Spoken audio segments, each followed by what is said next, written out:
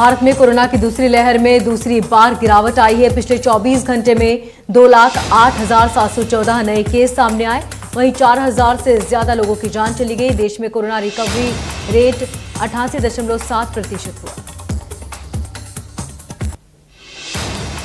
MP में 24 घंटे में 2,422 नए कोरोना केस सामने आए। 24 घंटे में अड़सठ लोगों की मौत। छत्तीसगढ़ में, में 24 घंटे में 3,506 केस सामने आए। वहीं 77 मरीजों की कोरोना से हुई मौत। दुनिया में अब तक 16 करोड़ चौरासी लाख अट्ठाईस हज़ार से ज़्यादा कोरोना के केस सामने आए। वहीं अब तक कोरोना से 34 लाख से ज़्यादा लोगों की हुई मौत। मुख्यमंत्री शिवराज सिंह चौहान आज कोरोना नियंत्रण को लेकर जनता से संवाद करेंगे। संवाद में अनलॉक को लेकर होगी बातचीत। वैक्सीन की उपलब्धता के लिए कल हुआ था ग्लोबल टेंडर का फैसला। मुख्यमंत्री भूपेश बघेल आज दुर्ग और भिलाई की सौगात देंगे। 110 करोड़ रुपए के विकास कार्यों का लोकार्पण और शिलान्यास किया जाएगा। वीडियो कॉन्फ्रेंसिंग के ज़रिए होगा कार्यक्रम।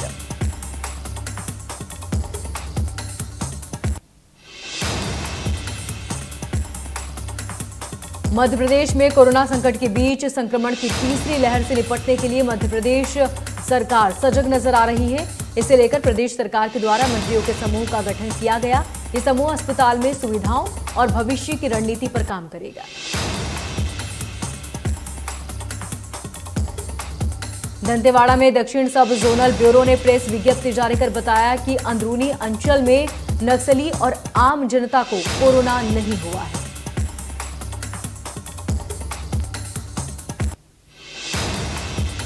छत्तीसगढ़ में आज से सुबह 9 बजे से रात 8 बजे तक खुली रहेंगी शराब की दुकानें। आबकारी आयुक्त ने जारी किया आदेश। अब ऑनलाइन शराब की डिलीवरी होगी बंद।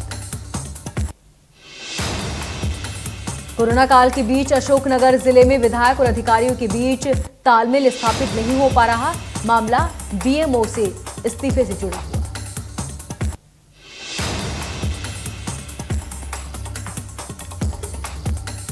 खबर ग्वालियर से, जहाँ पर बॉलीवुड एक्टर सोनू सूद ने बच्ची रेणु शर्मा से वीडियो कॉलिंग के ज़रिए बातचीत की और इंजेक्शन का प्रबंध कराने का भरोसा भी दिया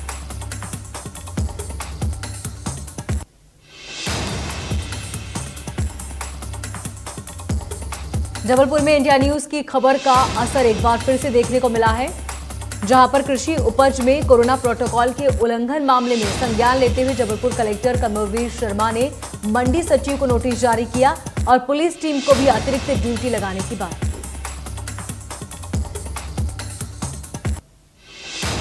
कोरोना टूलकिट मामले में दिल्ली पुलिस ने ट्वीट इंडिया को भेजा है। ट्विटर इंडिया को भेजा। संबित पात्रा के ट्वीट को मैनिपुलेट मीडिया बताने पर जवाब मांगा। कांग्रेस ने लगाया सोशल मीडिया की आवाज़ दबाने का आरोप। चक्रवात यास का दिखने लगा है असर। ओडिशा के सिलेरू नदी में पलटी नाव। आठ मजदूर लापता, एक का शव मिला, राहत और बचाव कार्य जारी।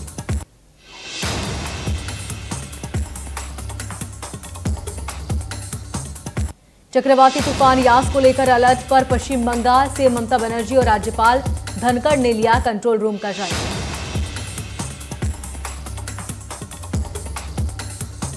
पीएनबी घोटाला केस में भगोड़ा, मेहुल चौकसी, अब एंटी गुहा से भी भागा।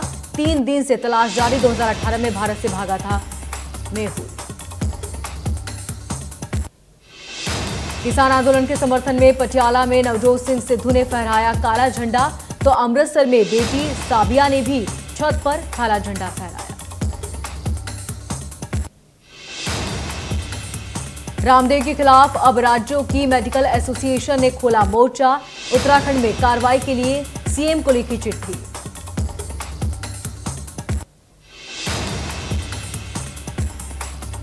सिंगापुर ने अस्थायी तौर पर एक कोविड 19 ब्रेथ टेस्ट को मंजूरी दी है। 60 सेकंड के भीतर कोविड 19 से संक्रमित शख्स का पता लगा सकता है।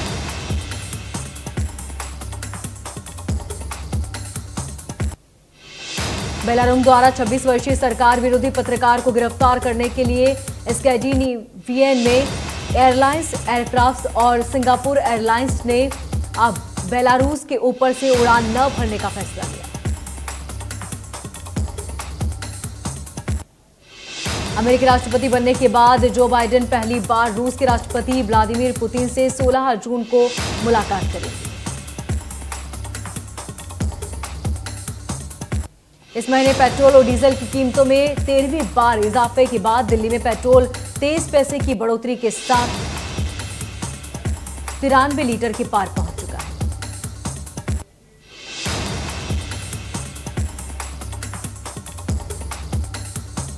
Cellular operators association of India ने टेलीकॉम डिपार्टमेंट में ओटीपी अथॉरिटिकेशन के ज़रिए मोबाइल सिम को प्रीपेड और पोस्टपेड में बदलने की सुविधा देने का प्रस्ताव दिया। बीसीसीआई ने आईपीएल की बाकी बचे 31 मैचों को लेकर तीन हफ़्ते की विंडो तलाश ली है। ये मैच 18 से 19 सितंबर से दुबई में शुरू हो सकते हैं। तेलुगु फ़िल्म अभिनेता जूनियर एनटीआर ने मंगलवार को ट्वीट कर बताया कि वो कोविड 19 से उबर गए हैं। उन्होंने लिखा कि कोविड 19 को गंभीरता से लेने की ज़रूरत है।